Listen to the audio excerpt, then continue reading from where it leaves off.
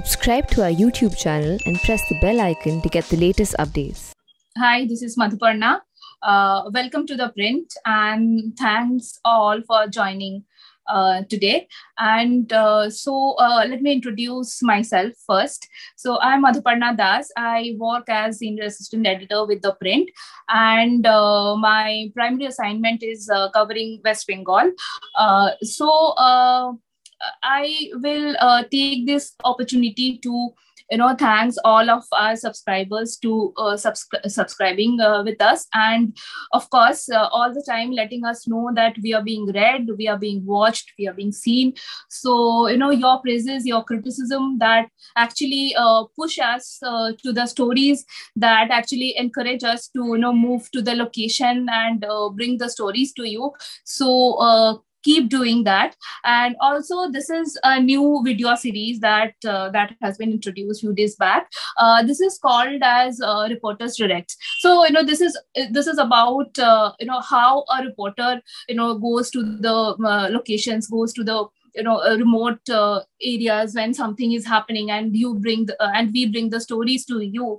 Uh, so i'm sure that uh, you as a reader as a view, viewer must have questions in your mind about how probably a reporter you know goes to a completely strange location meeting and talking to strange you know i mean strangers absolute strangers and how we are gathering you know news. So this is a, program for that. So you can actually ask any uh, relevant questions you have about uh, our stories, my stories, uh, let's say for the last uh, five, six months. And uh, because I have been traveling for last five, six months, initially for uh, covering West Bengal Assembly election and then the, subsequently the political violence. And after that, the ground stories for, you know, COVID. So, so this is the time for you to ask whatever questions you have uh, and um, also uh, to give you some uh, context about uh, about my stories what i have been doing for the past uh, 5 6 months as i said.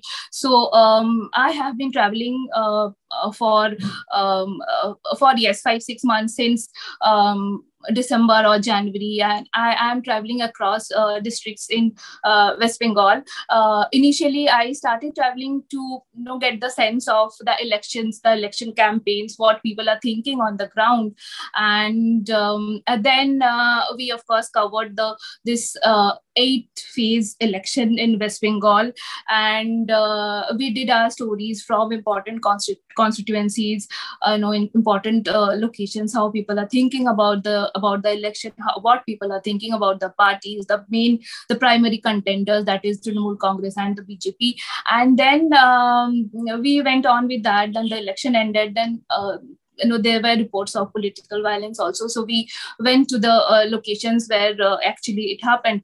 And we uh, did stories from the ground. After that we again you know uh, went to several other villages and districts to cover uh, covid uh, situation there. How people are dealing with it how, how government functionaries are dealing with it. So so this is this is about my travel for the past five six months. And of course with um, some short break i i uh, kept traveling to places so um, this is all about my travel. Now I will uh, uh, start taking questions, and please, you can send me any questions. I am here with you for um, good, some good time. I mean, some 30 40 minutes. So you can uh, send me whatever questions you have uh, in mind about our stories, about our work. Uh, so uh, the first uh, question i and also um, i will be looking at my laptop uh, while i'm talking because i have to see the questions here. So the first question i have uh, got uh, from bibhu who is asking uh, about uh, how the administration handling the distrust of the public. So yes uh, bibhu this is uh, this is really difficult for the you know administration for any government to uh, deal with the amount of distrust or i would say misinformation uh, people have in their mind um, not only in rural areas but in in in every area. I mean in cities also people do have a lot of mis- misinformation a lot of misconception. So it's actually difficult but the government is doing it. They're trying to handle it through awareness campaign in in uh, rural areas uh, especially in villages in remote areas uh, the panchayats they were involved. The panchayat members were involved. The block development offices they were involved. Uh, you know the asha workers the the ground level health workers we call them asha workers. So uh, they are also involved to do this uh, because um, they are the one who are the primary respondents. So it's it's for them it's actually easy for them to convince you know the villagers about the disease about the infection and uh, the remedy. So uh, yes, there are um, superstition-driven misinformation. Uh, of course, people do not want to get vaccinated they have this strange idea that if if they take that vaccine uh, there will be some problem to their their health or uh, they will they will start suffering from some other diseases and they also have this idea that you know in rural areas uh, uh, people will not get infected with COVID. So that is a strange idea people used to have because in the first wave, there are very little number of infections were reported from the rural areas of India and of course uh, from Bengal. But now the second wave actually broke that misconceptions. People are getting affected in rural areas as well. So it now it has become a little easier for them to make them understand that see uh, you know you are also you do not have any shield and uh, you are not shielded from that infection infection. You can also fall ill. So um, but still there is some sort of confusion they have about the vaccine. But the but the panchayat members they are actually trying i have seen myself they are actually trying their best to to convince uh, them and to fight their uh, superstition. Uh, so i'll go to the uh, next question. Uh, that is from uh, Shubhro, uh, Shubhro Mitro. Uh, so uh, he is asking, uh, just a second.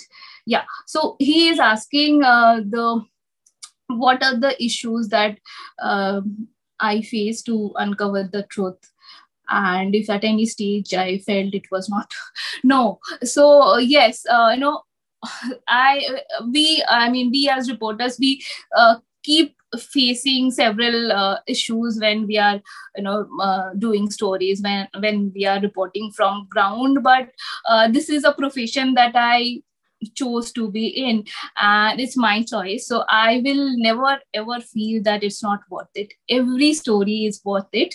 And um, yes issues though we keep we keep face, facing uh, issues like you know in villages especially in rural areas when you are you know going to do um, stories of let's say of political violence okay? So the the areas are then those are people are already charged you know? Uh, they are politically charged. They are um, there are some sort of political motivation. And after violence there is a lot of tension. So uh, yes it, it it gets a bit difficult for a reporter to uh, to reach that area and to go and talk to them because then uh, the villagers they nowadays they are having sort of um, what do i say? They have this idea that this reporter belongs to you know that ideology and this reporter belongs to that another ideology i mean political ideology. So then uh, they um, try to um, uh, talk to you in in a way that you are someone you are representing some party. So this is a, of course a challenge. But then um, as reporter we are actually you know trained to convince them and uh, to start talking to them. We just we just do not go and ask you know questions about the incident. We just you know initiate a conversation. Through that we get to know many details. And this is how we uh, report. So we initiate a conversation then uh, we talk to many people. We of course cross check facts. You know uh, getting one information from one person doesn't really uh, always you know go to mm, the story because i as a reporter need to cross check that fact uh, from others uh, uh, from the administration. I need to verify it uh, from the police or the district administration or uh, from the government sources. So this is how we do it um, mm, yeah. So uh, i'll then go to the next question. That is from Ramaswamy Shivaraman. So, okay. So he is asking um, why uh, Bengalis who are who are actually sophisticated but get so violent during during election time yeah. Uh, so uh, you know you have to understand one thing that uh, bengal west bengal as a state bengalis they are very passionate about politics. So this is uh, not really about how educated or how sophisticated a bengali is. It is about the passion. So uh, bengalis have always been like that you know. Uh, they are always very much passionate about the politics. And from that passion this kind of um, I should not be saying that violence comes from the passion, but you know this this has always been that politically charged. So uh, violence is just a byproduct of of that passion. Yes, it's it at times it it goes a, very wrong way, but uh, it has been happening in Bengal for. Um, for many decades for past four five decades so it has been like that it has been a political culture of west bengal uh, so then I will take the next question that is uh, from Kamlesh Sharma. And uh, Kamlesh is asking about uh, what kind of source we as reporters should uh, trust and uh, um, yeah, what kind of uh, government sources uh, we should trust when we are doing our stories. So, uh, Kamlesh, um, uh, let me explain this to you.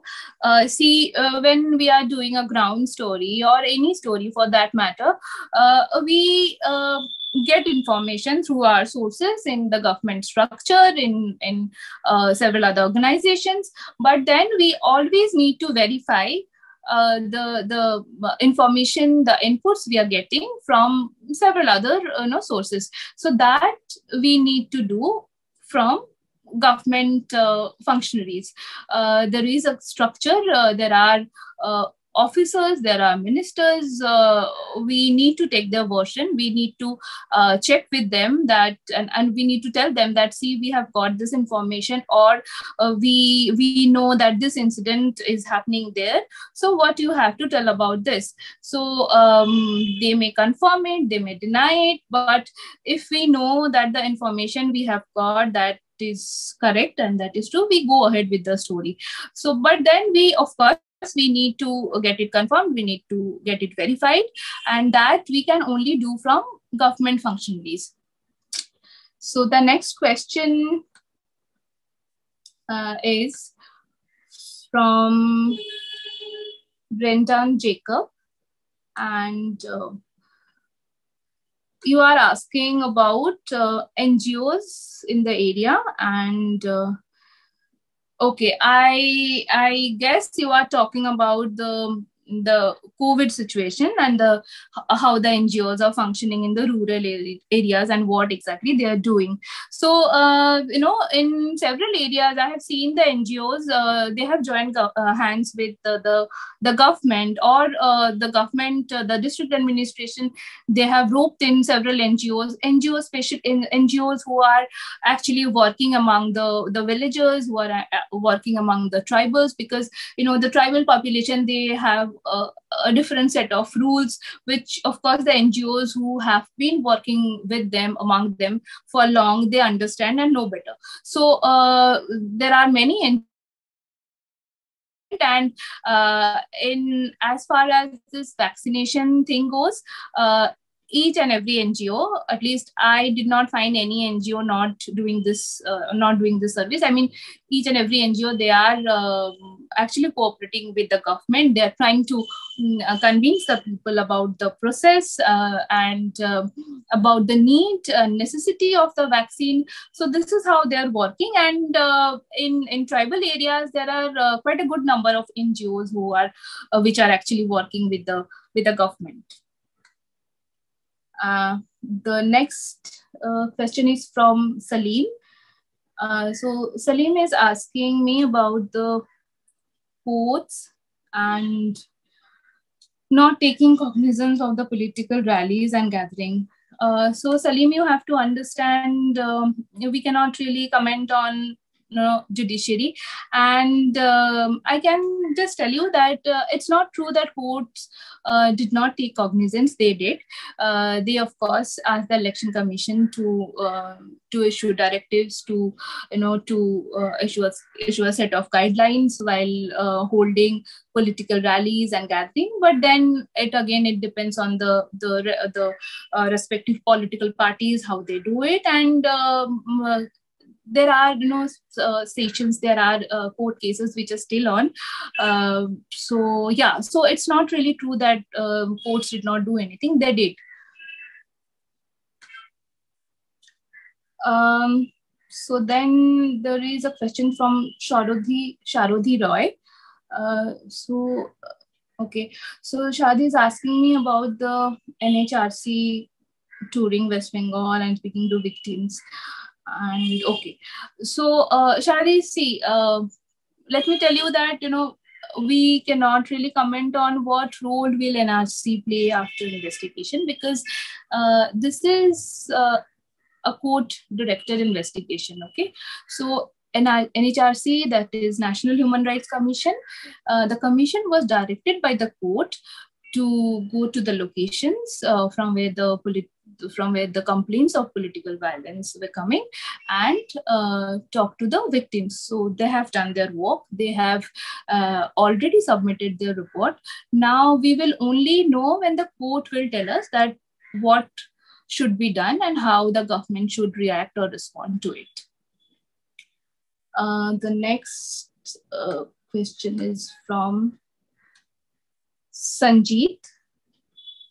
Uh, so Sanjit is asking me about uh, regional parties. What what is the learning of learning or takeaways for regional parties in South India and South India for Mamta's recent terrifying? Okay, uh, so uh, Sanjit, see, um, Mamta Banerjee has got a huge mandate, and um, regional parties uh, primarily they know that no political party is actually uh, in I, I, mean actually invincible so bjp can also lose Trinamool can also uh, win you know uh, third time in a row so mm, the I, I I don't know what the regional parties, regional political parties will uh, learn from Mamta Banerjee's fight, but um, uh, you know this is all about politics. So uh, but yes, uh, Mamta Banerjee's win in West Bengal, this actually increases the importance of regional parties. So um, at least I can tell you in near future, uh, in no way we can see more regional parties, you know, getting diminished. Rather, they will probably uh, be stronger uh, with this uh, example that uh, Mamta Banerjee has set. The next uh, question is from Aditya. So, Aditya, you're asking me about um, about the attitude of political defection and attitude of rural people towards BJP government and also about political violence. So Aditya, uh, see, uh, as you know that there has been, uh, you know, there has been a uh, there there has been uh, this thing defection and there, are many ins- instances in which some senior leaders they they have defected from bjp to trinamool most of them they are uh, Trinamool turncoats who actually uh, joined BJP just few months before the election. Uh, many of them they actually want to join Trinamool Congress back, but they are uh, kept in a queue and they're yet to join because Trinamool Congress did not really open the gate for all. They are uh, actually uh, choosing they are selecting people and then then they are making them join back. So uh, but you know uh, on the ground um, if i if i tell you about the workers there is uh, some sort of um, at, uh, in, in the villages, uh, generally the villages, the, the workers, the, the ground level political workers, they always want to side with the ruling party, right? So, um, and uh, since there were instances of political violence, so now uh, people actually be, people actually want to be with the ruling party. So in the process, they want to join Trinamool Congress, uh, and uh, in some districts like uh, in Birbhum, in Hooghly, in Howrah, uh, where actually we had seen a tremendous groundswell in favor of BJP. In those very districts, now we are seeing that the cadre shifting is also happening. Like the BJP workers are now joining uh, Trinamool Congress in big groups. So yes, that is happening, but that is happening uh, you know, on the ground uh, at the at the village level, uh, and. Um, about uh, the BJP government and generally and the BJP union government in particular. So uh, people do have some sort of issues with the price rise, especially with the rising price of petrol and diesel, because that really uh, affect them directly. I mean, villagers because many of them they're into transport business. Many of them they need to buy uh, petrol diesel or kerosene for that matter daily basis okay? So that that price rise affects them directly. So that is one thing they're really concerned and uh, apart from that uh, they're also uh, appreciative about some of the central schemes like uh, the pradhan mantri uh, Sadak Yojana, the these schemes were there earlier also but now they're saying that okay we are getting the benefits at least. Uh, earlier we did not get that but now we are getting it. So and there is of course um, villagers many of them they have this um, respect for Prime Minister Modi, but then uh, at some point they do have, especially in Bengal, I'm talking about Bengal, at some point they also see BJP as a party that creates some sort of religious divide. So I would say there is a mixed response. There is a mixed feeling. Uh, there is anti-incumbency against Trinamool Congress, but uh, we know since Trinamool Congress has got a huge mandate, uh, so the anti-incumbency, even if it's there, but now for this for some more time for next a couple of years probably it will be under you know cover because um, they know if they talk too much about it or if they react then they may uh, face some sort of uh, problem you know living in a village. So these are a very complicated and mixed kind of a situation. I i cannot really say that okay uh, these many people are saying this about one particular party and that many people are saying that about another party. So it's not that simple and nobody can really simplify it. It's a complex situation. There's a combination of feeling. There are um, there are also uh, you know there is appreciation for uh, the chief minister for didi because uh, they got a lot of um, they actually got benefits from a lot of government schemes which are dealing with uh, money you know money transfer and things like that uh, they had some issues with the the uh, as it is colloquially known as cut money, which is extortion. So they had these issues before election. Now also they have it, but um, you know they, at least they have got some sort of confidence from the local leaders that okay there were some mistakes and we will not we we will try to rectify it and we will not repeat it. So this is kind of uh, assurance that they are getting in some areas not in all areas but in some areas. Again in some areas there is uh, some sort of clash conflict between these two parties. So these are all post election factors and it it is going to stay for some more time. And um, uh, as uh, you know uh, now as i can uh, tell you that um, this political violence question that you have asked uh, so yes uh, if i if i need to compare it with political violence that we have seen in 2018 during the Panchayat election and the political violence that we saw after uh, 2021 assembly election. It's uh, see, it's violence, you know. But then uh, uh in 2018, people were actually killed, but uh, now this time in many occasions we have seen just after the results people were people were people were actually bitten to death. And it is not restricted to one particular party. You know of course bjp being in opposition they are not the receiving end but uh, Trinamool Congress cadres uh, were also killed. So uh, this is sort of a politics of politics of revenge and revenge and uh, retaliation. Uh, you know, neighbors killing neighbors that we I have seen uh, when I was uh, traveling across uh, districts uh, from where these instances of political violence were reported.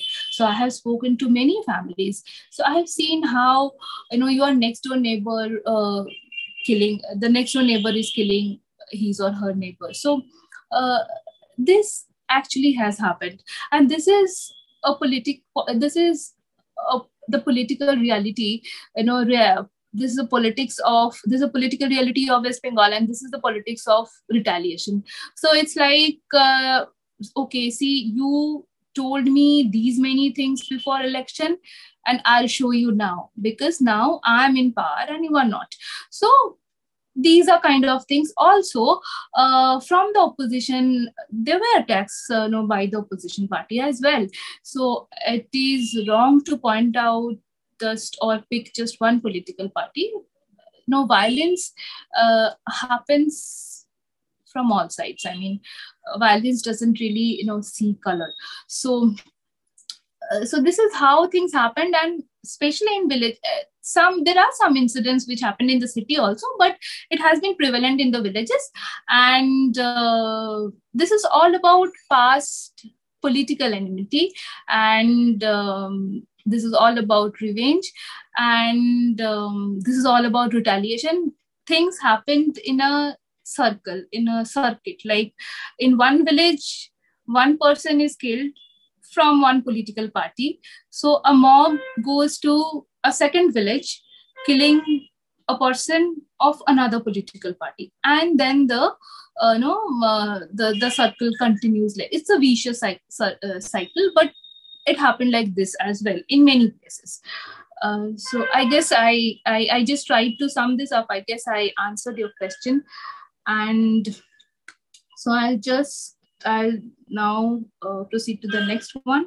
So there's a question from rahul uh, rahul is asking me about the spread of covid uh, if it's due to the election rallies and acha. So uh, rahul see uh, we have seen an eight phase election which was stretched you know stretched for a month.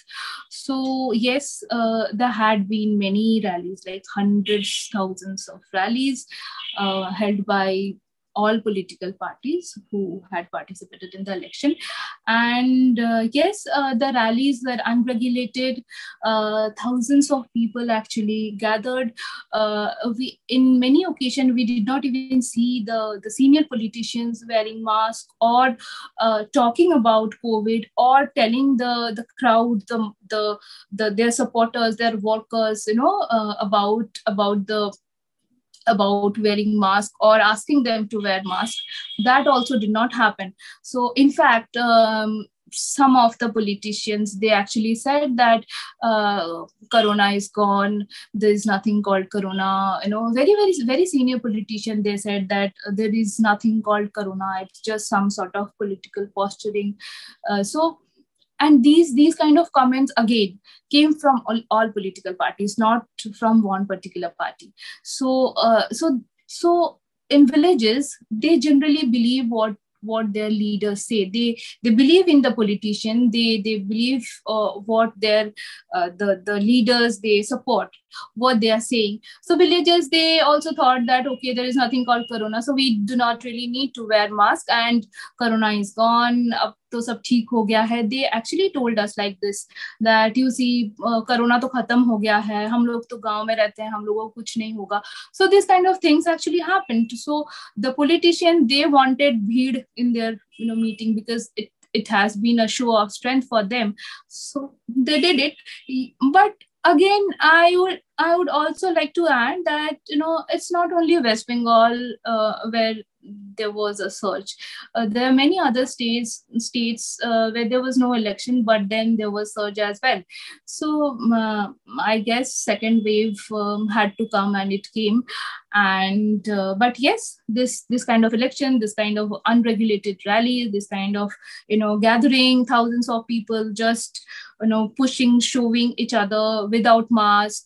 And yes it of course took a toll. Uh, so now i'll just go to some more questions. Uh, yeah. Uh, tarun uh, tarun is asking that uh, if this corona second wave is cause for bjp losing recent state elections. So uh, tarun this is this is a question of uh, question about the election result analysis. Uh, but primarily yes because uh, because you know after um, after the result we can see phase wise uh, in some phases bjp actually won seats and then when the, when the numbers for covid infection kept rising people actually uh, getting some sort of you know feeling that probably it's because of bjp probably it's because of center i mean bjp rule government at center not taking uh, steps to to curb the infection and that that caused this kind of second wave. Yes there, there has been a thought like this but again this is a political situation and uh, we need to you know look through it uh, we need to look at it through the the the the, the numbers the the statistics. So yes primarily uh, covid of course had an impact but there are several other factors. It's a multifactorial problem. I mean it's a multifactorial uh, I, I, would say there are multiple factors that actually uh, played and that that we can i can list reasons for this for this uh, kind of um, uh, result for bjp but covid surge the second wave is probably one of them not the most important one so uh, I will just take two last questions and then I have to wrap up. Uh, so uh, this is from Suresh. Uh, so Suresh is asking about um, what do you, do we do when we get some unexpected news or sudden developments? So yes, uh, Suresh, for us, um, we do not really expect any incident to happen, right? So it actually always comes uh, as unexpected. I mean, if it is an incident, there are some planned trips also when we need to cover some issue. We do plan a trip but there are also you know some incidents happening and uh, then we are asked uh, asked by our editors to to rush. Uh, so yeah that also happens. So primarily we just uh, try and get information from the local sources uh, from the from from the sources who are there on the ground or uh, we we do have you know our networks and we do get the news from there. And then we of course need to verify it from the respective government the local government or the state government. So we do it like that. So this is the last question. Uh, this is from s. Ananta krishnan so uh, mr krishnan is asking is it correct that west bengal chief minister has sent back full of mangoes? Yes she did. And uh, she has been doing it for uh, several years now. She started doing it since 2011 when she first assumed office. So this has been going on for quite I mean, quite some time, and uh, it's a tradition, you know. Uh, so she is just uh, following this tradition, and yes, she did send uh, mangoes to the PM to the HM, and also to Sonia Gandhi. Yeah. So thank you all. Thanks Atan for watching me. Thanks, Atan, for reading us, watching us all the time. Uh, keep encouraging us the way you do. Thank you.